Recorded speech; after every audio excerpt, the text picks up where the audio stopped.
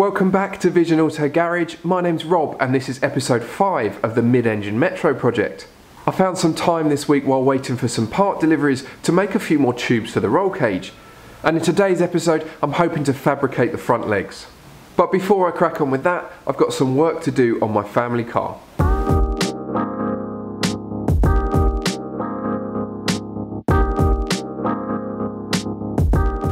I've been chasing a knock from the front and rear suspension of my XC90 for a couple of months. I'm really hoping a new lower ball joint and anti-roll bar drop links front and rear will solve it. Being a Volvo, everything is very well built, and there are so many links and bushes in the suspension, it's hard to identify faults unless they are severe. I've already replaced the offside front drop link, and from experience the quickest way to remove the old one is to cut off the nuts, even so, I try the book method first, then resort to the cutting disc.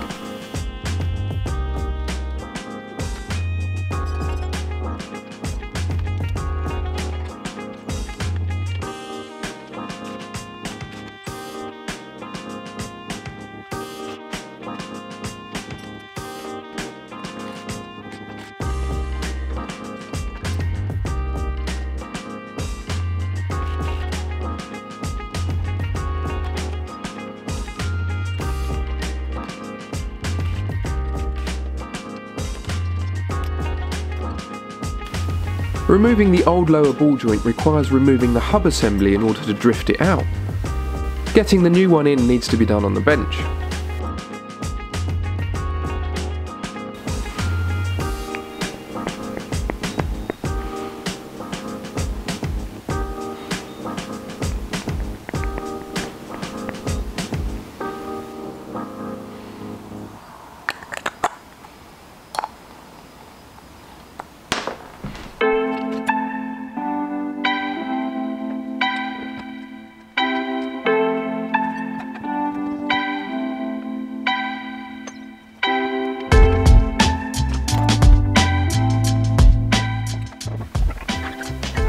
Reassembly is the reverse of removal, giving all the bolts a good brush of copper grease to aid future maintenance. I'll need to take it for a full wheel alignment having disturbed most of the geometry in the last few weeks.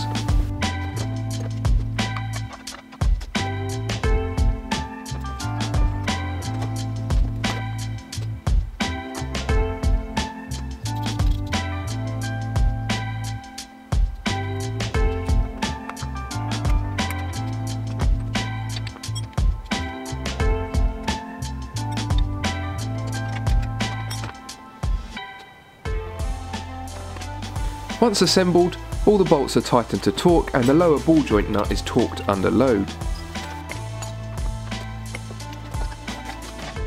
Well that's half the day gone and as usual a couple of hours has turned into several more. But at least now I can focus on the Metro. I'm going to start by marking out and measuring for one of the front legs. Squeezing in and around this little car could get tiresome, So the front leg of my roll cage needs to join the main hoop in the centre of its curve. It needs to follow the roof line above the door, come down the windscreen pillar, and then meet the floor at the bottom of the A-post. It's going to have to miss this cross brace, and I'm probably going to have to modify the scuttle where it's recessed for the bonnet hinges. After a few minutes consideration, I've decided to remove the body cross brace and steering column support. It's going to be a whole lot easier and there's nothing on it I can't replicate with tube.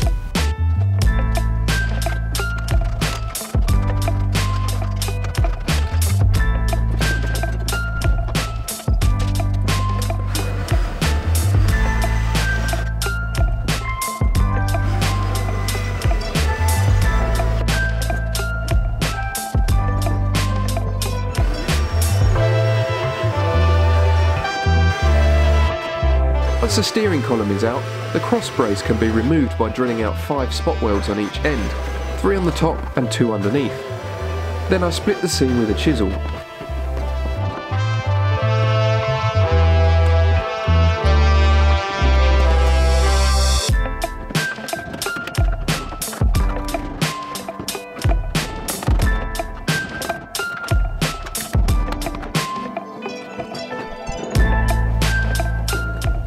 A few blows with the persuader and the piece is removed.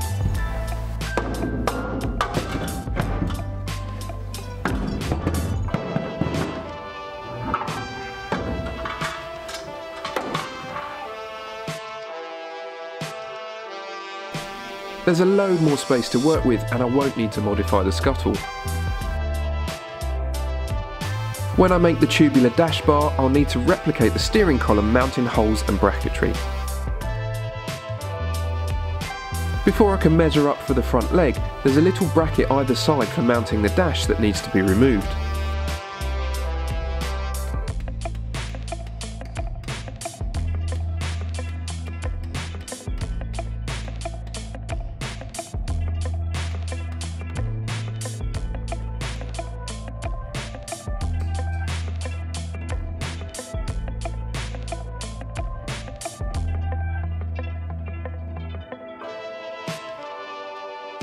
Using my template bend, I can visualise and measure the bend radius, placement and distance between bends.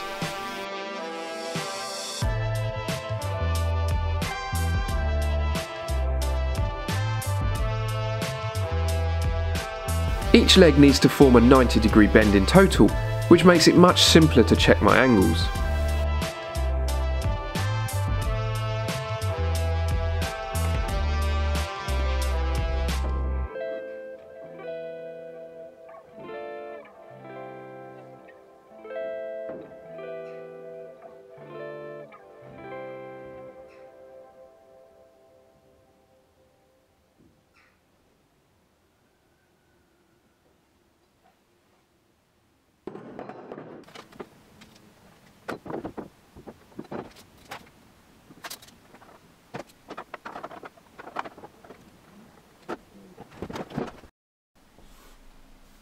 Time for another crude sketch.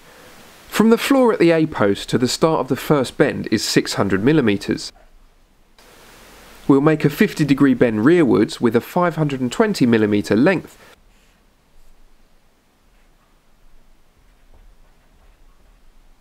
before a 40 degree bend and a 550mm length to the main hoop. The 40 degree bend needs to be offset by 10 degrees towards the outside of the car to mimic the windscreen pillar. I'll use a 2 metre length of 1.75 inch 12 gauge ROPT 510.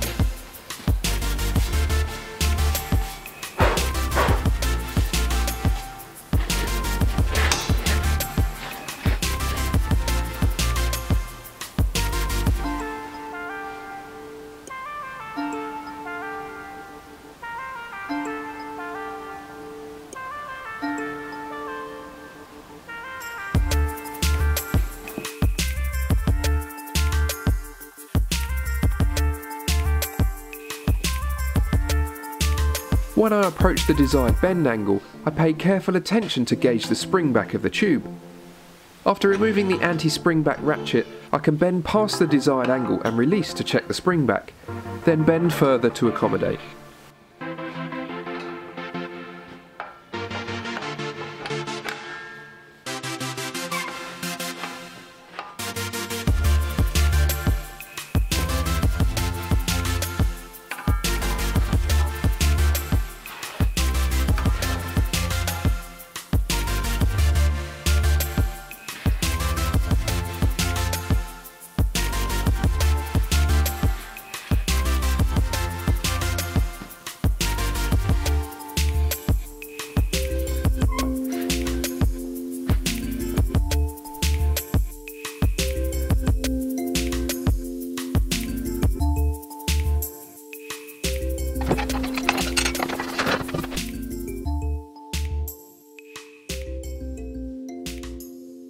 Forgot to mark the end of the bend whilst it was still in the die, so with it on the bench I can feel for the end of the depression in the tube and use my template bend to mark the end of the bend.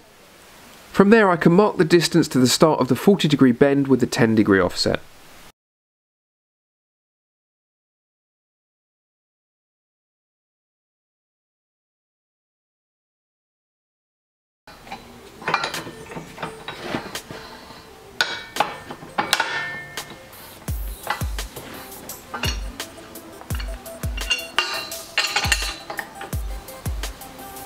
Set the offset, I zero an angle gauge on the die, then rotate the tube 10 degrees accordingly.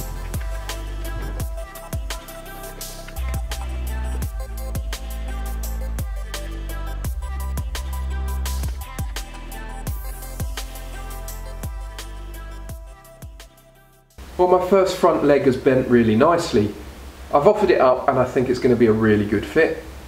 I can't trim the foot end yet because I haven't built the front plinths, but I can start notching the rear side where it joins the main hoop.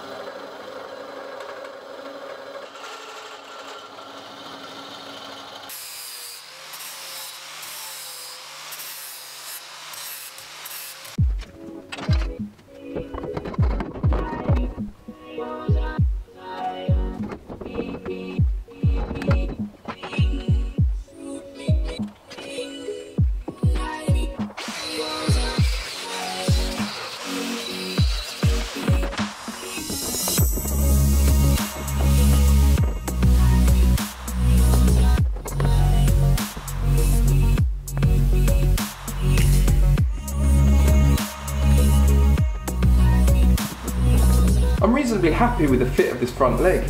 The seal actually angles inwards slightly so I'm not able to put it flush against the A-post yet.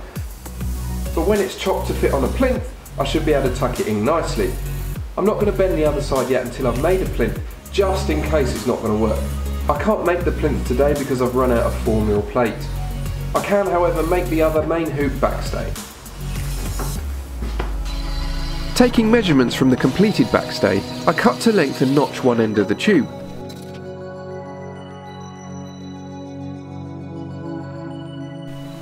MSA Blue Book Section K stipulates a minimum of 30 degree angle on the backstays. I've achieved 32.5 on the finish side, and when the lower end is notched, this side should come into line.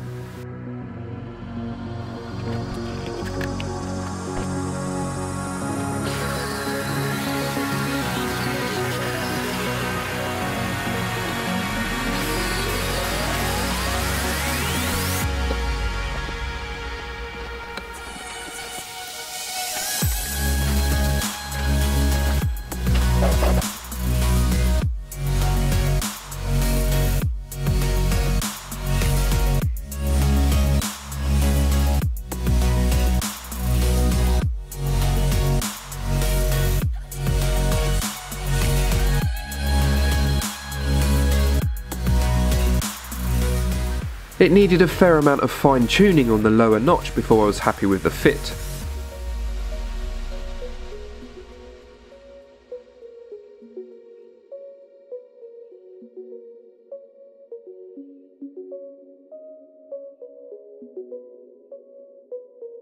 Next, out came the R-Tech Welding ACDC TIG 201, set to 120 amps to tack the new backstays in place.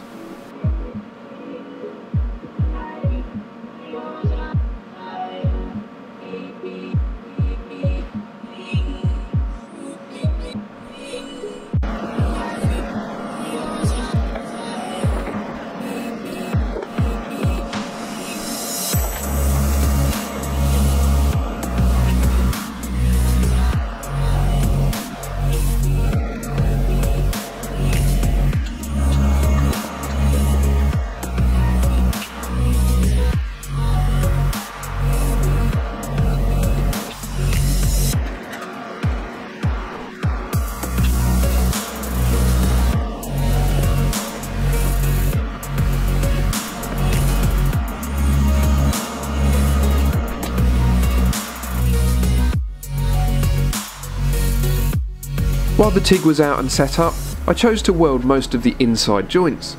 This will enable me to pull the rear half of the cage forward and off of the plinths without it moving. Then I can fully weld the seams.